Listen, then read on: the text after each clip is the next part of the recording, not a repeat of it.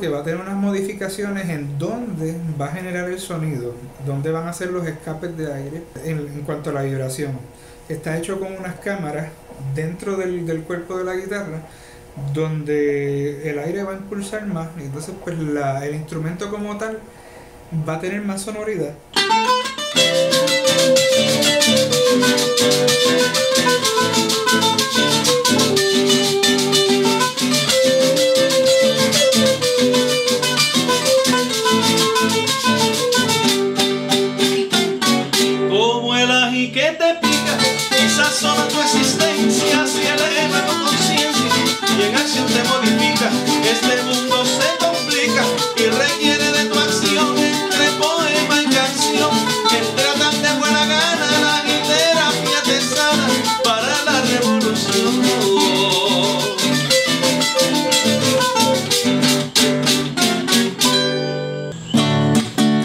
Saludos, yo te invito a que compartas conmigo un ratito agiterapia.com Show musical. cómico Teatral. y mucho más. ¿Qué tal mis amigos de Agiterapia? Walter Rivera, su productor de Agiterapia. Hoy estamos en el pueblo de Laja, Puerto Rico, en la residencia y taller de Luthier Ángelo Nazario Sepúlveda. Doctor Nazario Sepúlveda, músico, instructor, profesor. ¿Y qué más tú haces, Nazario? Hacemos instrumentos, soy este luthier de, de guitarra, he hecho poemarios, he incursionado en el área literaria, agricultura, un poquito también, eh, y todo lo que tiene que ver este, con lo que es la historia de las artes en general. Bien, la historia tuya es interesante, ya hemos hablado un poquito sobre tu historia musical y profesional. Vamos a remontarnos a esto. Primero eres puertorriqueño, Sí, de padres puertorriqueños, padres puertorriqueños, pero naciste en... en New Jersey. Cuéntame eso, cuéntame de que naciste, por qué naciste allá y cómo empezó tu vida en el ámbito musical. Eh, mi papá es, es músico, pero es ingeniero retirado. En aquel tiempo él estaba dirigiendo una planta en, en New Jersey eh, de manufactura, pues nací allí. Posteriormente nos mudamos hacia Aguadilla, a la base Reina. Entonces estuve unos años viviendo como hasta los 6, 7 años. Ya desde esa época a tener la inquietud con el piano, con el clarinete y con otros instrumentos, la guitarra también. ¿Quiénes son tus papás y por qué la base reina? Mi papá se llama Ramón Clemente Nazario. Ramón Clemente Nazario. Sí, mi mamá Judy Sepúlveda. Cuando él sale de New Jersey, a él le ofrecen otra plaza para dirigir otro proyecto en Aguadilla. Entonces, pues la casa que le consiguió la, la compañía como tal fue la base Raimi, en el setenta y tanto. Vivimos un tiempo y posteriormente me mudo hacia la Florida. En la Florida curso los estudios de quinto hasta grado 8, de ahí me mudo hacia Massachusetts. Pues ahí es que culmino ya el cuarto año, lo que fue mi primera concentración en psicología. Pero mucho antes de ese cuarto año ya estabas envuelto en el, en el mundo de la música. De bien jovencito estuve aprendiendo de mi hermana, de mi papá, pero también cogía clases privadas y tocaba con varios grupos folclóricos del área de Massachusetts. Ya a los, a los 13 años ya yo tocaba y cobraba, pero principalmente fueron grupos este, de música folclórica, músico, música que tenía que ver con Puerto Rico. Y pues estábamos, mi mamá era bien cívica y estaba bien involucrada en todo esto que tiene que ver con la cultura y la herencia puertorriqueña, pero pues, eh, en Estados Unidos. Empezaste a tomar clases de piano ya creo que a los cuatro años. Sí, bien jovencito, bien, bien, nenito, bien nenito, bien mi papá empezó a darme clases de piano. Para ti inicialmente no fue algo que tú querías hacer. Pues me gustaba, pero, pero no era como que lo que quería como tal. Yo lo que quería era jugar y, y tirar piedras con los nenes por ahí, los vecinitos y eso. Pero pues mi papá en aquella época pues quería de todas formas de que sí, que yo fuera músico, que yo tocara algún instrumento. Mi hermana recuerdo que me enseñó unos cuantos tonos, acordes, etcétera, y algunas melodías. En piano. No, en, en guitarra. El piano fue como que un momento bien este fugaz. Aunque toco un poco, no estuve mucho tiempo con el piano. Entonces pues yo veía que mi, sí, mi hermana tocaba este guitarra y mi hermano tocaba piano. Pues y mi papá pues tocaba todo lo que veía por ahí. En ese momento mi hermana me enseñó algunas cositas eh, bien básicas y después mi papá, pues ya era como que una obligación el tener que tocar la guitarra como tal. Ahí es que empieza la relación de amor y odio con el instrumento, porque pues a una edad así pues como que ya tú no quieres este, estar trabajando de esa forma, quieres, eh, quieres hacer otras cosas, quieres jugar, quieres, tienes otras prioridades, otros pensamientos. Pero sí, eh, llegó el momento que, pues, que en realidad tú no, no deseas eso. Pero fue, fue bien interesante porque trascendió y evolucionó a otra cosa. Ya a los 13 años, como dices, ya, ya tocaba profesionalmente, Sí, ya. ganaba un dinero. Claro. Y luego de ahí, ¿qué pasó? Luego de los 13 años. Pues mira, este, a los 13 años ya pues yo seguí por mi cuenta estudiando, ¿no? Con libros, etcétera. Y pues cogí clases privadas con un concertista de guitarra clásica norteamericano. Estuve un tiempo con él, estudié mucha, mucha guitarra clásica, como dos años por ahí. Estudié todos los estudios, etcétera, etcétera. Todo lo que tenía que ver con, con la base de la guitarra clásica. Me, me- gustaba mucho, me, me apasionaba ya en esa época. Pues posteriormente, ya como en el 2000, en el año 2000, pues sí, este, hice un disco pues, posteriormente que, tenía que ver con las composiciones mías, que tenía unas melodías en la mente todas las noches divagando por ahí. Me puse a escribirlas y, y hice una producción, eh, se llama Libro de Sueños, este, que prontamente voy a recopilar otra vez para, este, si no regrabarla, volver a reproducir los discos para entonces tenerla accesible al público, porque así me han preguntado un montón de veces y tengo gente que tiene el disco que me dicen, mira, este, yo, yo duermo con la música tuya porque es como relajante. Eso es como jazz, otra vertiente, otra época dentro de lo que fue la- la- lo clásico y lo porque siempre me interesó ese, ese género también mucho. Ese disco ya tiene otra inclinación que va dirigida hacia, hacia el jazz, hacia la música bossa nova, y brasilera, latina, etcétera, pero sí era más libre como el jazz, eh, con improvisación, etcétera. Y fueron 10 temas de mi autoría y- que grabé. Y pues me fue muy bien. Pues mira, en, en la high este, me uno a, los grupos de videoproducción de la, de la, de la high, eh, estoy en la banda, eh, yo hice televisión cuando estaba en la, en la escuela superior, también hice radio, eh, en diferentes programas que ofrecía la, la, la escuela. ¿Estabas aquí en Puerto Rico? No, yo estaba en ese momento en Estados Unidos, en Massachusetts. Y había un programa especial de audiovisual, cosas así. Sí, había un programa de videoproducción. Entonces yo trabajaba como ancla y también este, hacía sonido. También tenía una emisora radial que pues participaba ahí, entrevistaba gente también, este, diferentes personajes de la ciudad este, de Springfield, en Massachusetts, eh, que tuvieran que ver con la educación usualmente y con cosas culturales. Ya posteriormente, sí, ya profesionalmente, ya después que salgo de la escuela superior, sí, llego a trabajar en la radio, este, como un año, en un programa radial mañanero, que era más político, más sátira, comedia, y pues hacíamos personajes de comedia también, entrevistábamos, etcétera. Eh, Hacíamos mu- muchas cosas. El- Se llamaba El Can de la Mañana, este, con Oscar Or- Cortés, este, en el municipio de Holyoke, en Massachusetts. ¿Qué año estábamos hablando? Estamos hablando del 96, 96, 97. Estuve ahí como año, año y medio, eh, todas las mañanas, a las 4 de la mañana allí, ya uno este, con las ojeras para, para hacer el show que duraba 4 horas. Y aún estaba en la high school.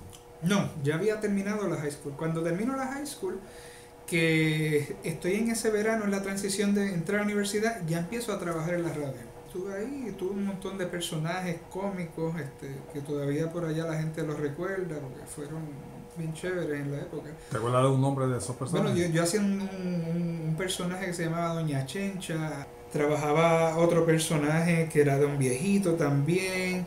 Y pues además e- e- el personaje nada como tal, el mío, ¿no? Mi, mi persona, que era pues entrevistar también a otras personas. Y pues artistas, a Manny Manuel, el Gran Combo, diferentes grupos que iban a la ciudad y los entrevistaba. Conjunto con Oscar Cortés, que era el productor de, este, de la emisora como tal. Ángelo, ¿cómo te sentías en este tiempo, en esta temporada? eh, Pues mira, como persona. Pues mira, fue bien agradable, pero también estaba bien confundido con lo que iba a pasar con mi vida porque yo no sabía qué iba a hacer. Yo quería seguir estudiando, obviamente iba a estudiar en universidad, pero... Y pues fui aceptado en la Universidad de Massachusetts, pero en realidad no sabía que iba a estudiar. ¿Qué pasa? Que, que mi hermana pues es psicóloga. Yo quizás con la intención de seguir esos pasos, pues después de estar un tiempo estudiando las clases generales pues me fui a una concentración en psicología clínica. De ahí surgen otras historias más. Mientras todo, pasan todo este tiempo, yo sigo con la música, sigo haciendo cosas musicales. ¿Seguía con la guitarra o con el jazz? ¿O guitarra con la, con jazz? se la guitarra con la guitarra y el jazz. Y grabé con un grupo que dirigía Oscar de León, que se llamaba Los Adolescentes, que ahora se llama Pasión Juvenil, creo que se llama ahora. Este, hicieron un número bien famoso en aquella época que se llamaba Me Tengo que Ir. Pues ese número lo grabé yo, que también estuvo en los Billboards en esa época. Y tuve la dicha de participar con ellos, un grupo de Venezuela. Posterior a ese, entonces, pues es que me reúno con los productores de una cantante norteamericana, se llama Pink, nominado para un Grammy como artista revelación y pues el, el- remix que nosotros hicimos con el productor pues estuvo ahí nominado y fue una experiencia eh, súper brutal porque tú conoces a tantas personas ¿sabes? que eso jamás se, se olvida Esa experiencia en particular te, te abrió la mente para otras, otros rumbos en tu vida. Claro, porque entonces este ya yo estoy terminando los estudios allá yo diciendo, pues yo lo que quiero hacer es música, pero estuve en Berklee College of Music, Boston, pero era muy caro y yo no tenía los fondos como para seguir estudiando pues ahí como tal. Llego a Puerto Rico. Mi papá pues este residía acá, reside acá en Guánica. Yo digo, pues voy a Puerto Rico a estudiar música. No me quedé, entonces me mudo de Massachusetts y llego acá a Guánica. Ya estaba graduado. Ya, sí, ya era este psicólogo, pero no tenía idea de lo que iba a hacer porque no- después que lo había hecho, pues no quería seguir en ese campo. Cuando lo hice como práctica, eh, resultó ser que, que sí, como que era bien drenante y si tú no tienes como que la fortaleza para este, bregar con casos de personas con diferentes problemas horribles, porque vi cosas bien, bien, bien fuertes. Y sin llevarte a tu casa los problemas del cliente, ¿verdad? Ah, no, ese, ese, ese es el problema, que entonces estamos ahí y de alguna forma nos involucramos, porque estamos con él. Y esa parte se, se, se, se quedaba con uno mucho. Y pues a mí eso no, no, no congeniaba, porque entonces yo tenía mis luchas por hacer, pero entonces estaba trabajando con las luchas de otra persona también. Pues yo estaba buscando un norte en mi carrera, en mi vida, ¿qué yo voy a hacer? Quizás ese fue el detonante para decir, no, espérate, no, vamos, vamos para otro lado. Porque entonces ya después de haber terminado y uno hacer eso y pues como tal trabajar en, en, en ese hospital pues me dieron esa oportunidad de poder ver este, en carne propia lo que esta gente hace todos los días. Y yo dije, no, muchacho. Ese hospital eh, fue, eh, fue la práctica que hiciste Es una práctica, sí. En Massachusetts. En Massachusetts. Mudo a Puerto Rico. ¿Por qué Puerto Rico? ¿Por qué no te fuiste a España o a Santo Domingo? Pues mira, pues, pensé estudiar música en muchos lugares. Sucede que papá estaba acá en Puerto Rico y pues en realidad no tenía dónde llegar. Cogí, me metí en aquel tiempo al internet lento que existía y conseguí un pasaje por internet. Y dije, el miércoles que viene llego a Puerto Rico. Y fue una cosa así, espontánea. O sea, me voy y me voy. Y mi mamá pues como que, wow, pero ¿cómo te vas a ir? Y qué sé yo. Pues, no, es que no, no encuentro la forma de, de, de seguir aquí. Para entonces viajaba por San Juan. Sí, Y cuando llegara a Puerto Rico aplaudieron. siempre. Todavía lo hacen. todavía lo hacen, todavía. Muy bien, llegas a Guánica, estás en Guánica, le dices hi papi. Llego y él te pregunta, ¿verdad? Mira, ¿y ¿qué vas a hacer? Pues no, yo quiero estudiar música. Quiero estudiar música. Este, y entonces ahí nos podemos a, a verificar en las universidades, el conservatorio, etcétera. O sea, que te apoyó. No, sí, pues claro, porque pues mi papá es ingeniero, pero siempre quiso estudiar música, pero entonces a él no lo dejaron tampoco, porque el músico se muere de hambre. Este, esa era la, la, la y todavía pues sí, mucha gente tiene e- esa visión. Eh, gracias a Dios pues por mí no he pasado hambre todavía. Papá me siempre me apoyó con eso, porque pues fue un deseo que, que quizás él no pudo tenerlo, pero pues yo lo pude concluir eh, en el paso de, de la vida como tal, porque sí, pues, inicialmente quizás ahora mismo estuviera en un hospital allá. Estás entonces en Puerto Rico, eh, estás buscando con tu papá dónde estudiar, etcétera, ¿y qué pasó? Pues mira, entonces este, encontramos las opciones, que era la UPI de Río Piedra, el conservatorio o la Inter de San Germán, que eran los que ofrecían concentraciones este, de música como tal, más el conservatorio y la Inter, porque la UPI y la Católica tenían unos programas que no eran específicamente lo que yo quería, eran humanidades con una concentración en música. Entonces yo quería hacer música, música como tal. Y entonces pues ahí es que me reúno y estamos este, trabajando a ver dónde voy a ir. Y entonces pues en, en ese tiempo pues estoy un tiempo en San Juan, en el conservatorio. Y allá estoy estudiando, estudio guitarra clásica un gran tiempo. La costumbre del viaje a San Juan de, pues me era, me era difícil también, porque pues vivía mi papá en Guánica y pues no tenía como tal la forma de estar viajando constantemente, entonces es que, que decido, pues, San Germán me queda aquí al ladito de Guánica. Voy a San Germán y sigo estudiando. Es donde posteriormente termino la maestría. Y entonces este Maestría en música. en educación musical, el bachillerato lo hice en música aplicada en performance, en guitarra clásica. Empiezo a trabajar en la universidad en el 2007 como profesor allí. Posteriormente pues estudio en la Universidad de Arizona donde hago un doctorado en educación, pero con una concentración en gerencia universitaria, para trabajar en organizaciones de diferentes vertientes educativas, algo que tuviera que ver con lo que ya yo he hecho, pero este, a nivel administrativo también. Cuando regresas de Arizona, ¿qué haces acá en Puerto Rico? Pues mira, cuando este, regreso a Arizona, pues sigo obviamente en el mismo trabajo porque pues nunca, nunca lo dejé. Nacen unas inquietudes bueno, no nacen, afloran, porque siempre estuvieron ahí, que fue lo esto de la, de la construcción de los instrumentos como tal. Fue bien interesante porque yo desde muy joven pues, veía, vi una guitarra que estaba rota y veía cómo es posible que ese sonido salga por ahí, cómo funciona la, la física de este instrumento y cómo es por adentro y por qué, y esto y esto. Me puse a conseguir muchos libros desde, desde el año 90 y pico, 2000. Este, empiezo a involucrarme con muchos este, artesanos de, de acá también de Puerto Rico y de, Estados Unidos y también españoles para ver y conocer conocer una, una angustia increíble por conocer o sea, era ansiedad. Yo mismo eh, empiezo a, a, reparar instrumentos sin conocer mucho de verdad más que lo que había visto en los libros y, y no es hasta hace un tiempo atrás que conozco a, de Cabo Rojo José Negrón que me dio la mano con la con la construcción de las guitarras como tal. Ya posteriormente pues estudio eh, con el español Carlos Busquiel eh, en la escuela de guitarreros y entonces pues ahí seguimos estudiando siempre porque esto es algo que, que no termina. ¿Eso, ¿Ese estudio con Busquiel fue de, por internet o fue fuiste a Sí, España? ese, el, estudio ese con, constantemente, nosotros nos comunicamos inclusive por vía Skype. Es un, un luthier muy conocido allá, que hizo, estudió con José Romanillos, que para los conocedores pues eh, le llamaron el, el Stradivarius de la guitarra. Es un de los pilares más grandes que existen de la guitarra, pues un estudiante de él como tal. Hoy en día, eres profesor de la Universidad de Interamericana de San Germán, eres luthier, construyes guitarras en tu casa, solamente guitarra, ¿verdad? Guitarras por ahora, posteriormente empiezo a hacer otras cositas que tengo en mente, sí, pero por ahora guitarra. Estás especializado en cuerdas, o escuché algo así.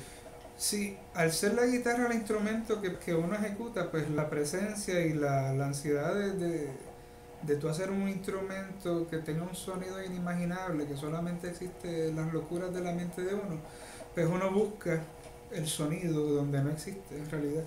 Este, y si trato de conseguir ese sonido, pues lo hago con cada instrumento que voy a seguir haciendo.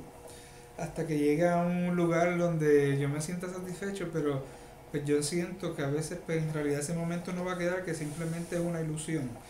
Este, porque ya el sonido está ahí. Es que uno eh, busca algo efímero, algo, algo perenne. Es una cosa platónica. Pero a lo mejor sí, el sonido está, la- mucha gente le gusta, gente que tiene instrumentos míos. Pero en realidad seguimos en esa búsqueda constantemente de conocer. Bien, Angelo, estás en Puerto Rico, vives en Laja, un lugar excelente, un lugar precioso. De aquí se ve el Valle de Lajas, parte de él. ¿Qué proyectos tienes hoy en día? Además de ser como el luthier de, de, de guitarras, ¿qué otros proyectos tienes actualmente Como para el 2009, yo estuve tocando en Nueva York y tuve una entrevista de la revista Guitar Magazine. Entonces me entrevistaron personas de la marca de la guitarra Godin, que es una guitarra que, que fabrican en Canadá, en Quebec, Canadá. Ellos me entrevistaron, bien chévere que se yo, cogieron mi información. Salió un artículo de ellos. Fred Santo, que es el de relaciones públicas de, de ellos, internacionales, de los artistas, me pregunta que si yo quiero ser este, un artista de ellos como tal. Bueno, con una exclusividad de la guitarra Godin en Quebec. Pues, imagínate, una cosa bien chévere, porque son los instrumentos que yo llevo usando hace mucho tiempo. Y pues, obviamente dije que sí. Ellos me envían instrumentos constantemente para evaluarlos, escribir. También soy columnista de, de la revista que ellos hacen anual. ¿Qué se llama? Se llama Godin Magazine, edición anual, donde ahí hay muchos foros donde los guitarristas que tocan sus instrumentos como tal ponen reseñas de tal guitarra o de tal cosa o esto lo hicieron bien, esto no, estas cosas. También pues de las cuerdas este, de Adario hice, hice columnas, cuerdas muy buenas. Es como el estándar de los guitarristas. Ahora mismo estamos en planes de una guitarra que va a ser un signature, una guitarra este, a mi estilo, que estamos trabajando en el diseño. O sea, el diseño lo tengo yo, lo estoy trabajando yo, para que entonces ellos hagan la manufactura de ese instrumento. Y yo espero que ya prontamente eso salga al mercado, porque sí, eso va a ser internacionalmente conocido este, por el diseño mío. Entonces, un, un signature Angelo Nazario de la Godin. Danos un la de cómo va a ser ese diseño. Pues mira, es bien parecido al diseño normal que ellos tienen. Lo único que va a tener unas modificaciones en dónde va a generar el sonido, dónde van a ser los escapes de aire eh, en, en, cuanto a la vibración. Está hecho con unas cámaras dentro del, del, cuerpo de la guitarra donde el aire va a impulsar más y entonces pues la, el instrumento como tal va a tener más sonoridad en cuanto, porque usualmente esos instrumentos los usan conectados, ¿no? hacia un amplificador, etc. Pero por este medio va a ser utilizado conectado, o sea, con un amplificador, o se va a utilizar también acústicamente, sin necesidad de eso, porque los cambios que vienen van a ser bien significativos en cuanto a la acústica del sonido, va a ser mucho, mucho más grande de lo que ellos siempre han tenido la tendencia. Y pues estamos trabajando con eso, con el diseño para ver este para cuándo puede salir. Pero es un proceso un poquito este tedioso tardío porque tienen que verlo 20.000 personas antes de que den el sí. Pero nada estamos trabajando con eso. Por lo menos ya ha sido aceptado. Ahora es cuestión de, de trabajar en el diseño porque pues yo personalmente pues estoy trabajando con ellos eh, cada semana nos comunicamos para ver cómo va eso y le digo otras especificaciones, entiendo que debe de bajarse esto, otras cosas. Y hay un prototipo ya, pero pues yo entiendo que el que me enviaron pues se tiene que mejorar. Referente a las cuerdas, Godín produce cuerdas, ¿verdad? Godín lo que sucede es, ellos producen cuerdas, pero ellos están aliados a, a Adario, que es una compañía súper grande eh, de, de, cuerdas este, para guitarra eléctrica, para guitarras inclusive de cuatro hacen este, cuerdas. Y entonces ellos están aliados a, a, a Deadario y Deadario es el que le produce las cuerdas a Godín, pero entonces ellos la, las empaquetan como tal en su, en su fábrica. Como son de la misma compañía, pues ya yo he hecho reseñas, me he enviado lo último, cada cuerda que sale, pues yo la pruebo antes que salga al público, al mercado, y, escribo reseñas sobre eso en columnas, etcétera, en cuanto a la afinación, la duración, cuánto dura más, eh, el sustain, cuánto más se sostiene el tiempo, el volumen, este, el tono, es bonito, esto. Entonces pues, uno va viendo y de acuerdo a eso, tienes que probarla por lo menos por tres meses antes de hacer eso. Y es bien interesante porque la cuerda va cambiando y tú vas viendo eso que son proyectos nuevos. Y pues lo que se está usando mucho ahora es la fibra de carbón para las cuerdas, ¿no? el, el nylon ya se está quedando un poquito más atrás. El sonido del- de la fibra de carbón es un poco más fuerte, aunque no es el mejor, porque a mí personalmente no me gusta tanto, es mucho más brillante y como suene, suena un poco más latoso. El nylon pues todavía tiene la calidez eh, en, ese, en ese aspecto. Pero sí, tenemos que, que admitir pues, que la fibra de carbón es mucho más, más fuerte, va a crear más volumen en el instrumento. ¿A dónde va el arte hoy en día en Puerto Rico? ¿A dónde vamos con el arte en Puerto Rico? Pues mira, yo entiendo que según la- las épocas que, que vivieron nuestros antepasados, este, de la, eh, la Edad Media, la época medieval, resurge un, un renacimiento, ¿no? Un renacer de las artes, el siglo XV. Yo entiendo que este es el momento propicio para nosotros develar nuevamente todas las artes, o sea, lo que eran las artes principales, la pintura, la escultura, la literatura, la arquitectura y la música, que es el único arte sonoro. Después que le añaden la, el cine, el teatro, etc. Pero las iniciales, cualquier tipo de arte, yo entiendo que este es el momento propicio. Por todas las cosas que pasan socialmente en el mundo, ¿no? Tenemos que tener en cuenta que la música tiene unos poderes, este, unos beneficios increíbles para la salud social no para la salud individual solamente, sino que esto ayuda y beneficia al ser humano de una forma increíble.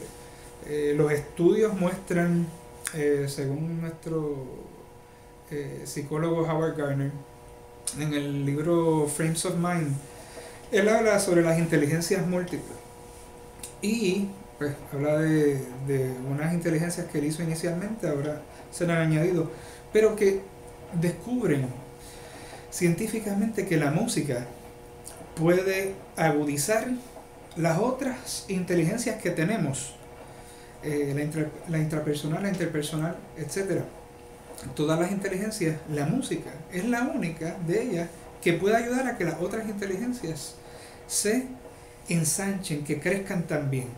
Entonces, pues, si vemos de esa forma, nosotros podemos ser más inteligentes, más intelectuales por medio de la música. Eh, Y se ha comprobado en países como Finlandia, en Corea, pues los estudiantes eh, tienen que, hacer música. Tienen que hacer música. Es, volviendo a lo que me preguntaba, entiendo que por lo menos en Puerto Rico y en el mundo debería ser el renacer otra vez de la arte.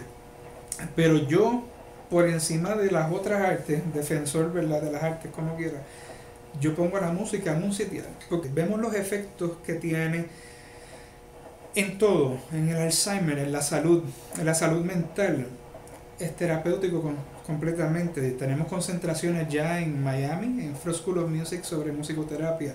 eh, musicoterapeutas que en diferentes lugares de Europa está funcionando como un, un vehículo brutal, grandioso. En Puerto Rico actualmente se está trabajando un proyecto de ley que se llama 584, Salvemos las Bellas Artes, pero se ha estado trabajando constantemente para que por lo menos en las escuelas, en todas las escuelas hayan maestros de bellas artes, que nuestros jóvenes, que son un futuro del mañana, ¿no?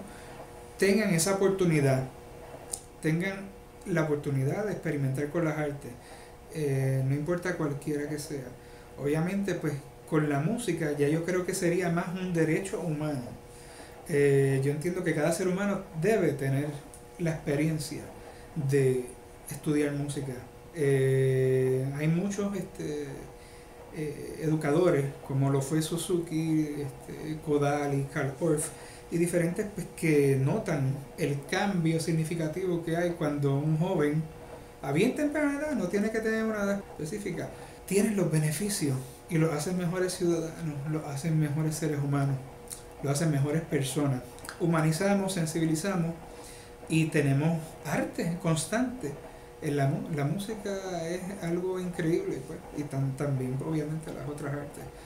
Pero en mi caso, que estoy bien adentrado con eso, lo he visto, he tenido la oportunidad de tocar en centros de Alzheimer y ver personas que no hablan, que no se mueven. Y cuando escuchan música, todo cambia completamente. Empiezan a recordar las canciones y las cantan completamente sin tartamudear ni nada. O sea que es sumamente increíble el efecto, el beneficio que tiene esto para estas personas que sufren de esa enfermedad que es como una amnesia eh, que les da. Y en realidad, pues esto debería ser un renacimiento, un renacer de las artes del siglo XXI. Debe de continuar en Puerto Rico y estos programas como agiterapia, etcétera. Tenemos que seguir fomentando esto, porque esto es muy importante. De esto dependen muchas cosas que todavía los gobiernos o, o diferentes vertientes políticas o lo que sea, pues no nos, no nos han brindado esa oportunidad de exponer. Así que nosotros tenemos que seguir poniendo nuestro granito de arena. Lo que hace, lo que haces tú, Walter, es magnífico, porque llevas esa, esa voz a otros países, seguimos este, en lucha y, y seguimos apoyando las artes.